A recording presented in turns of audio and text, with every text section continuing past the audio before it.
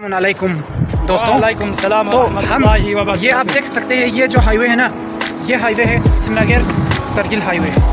और हम यहाँ से गुज़र रहे हैं।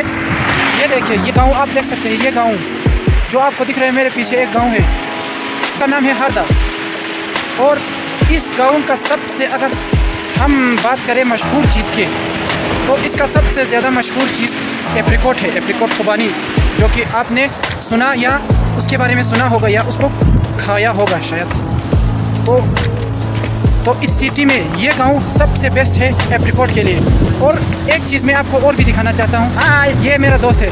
और आप देख सकते हैं ये दूसरा दरिया है ना जो एक दरिया बह रहा है वो है ये द्रास रिवर है।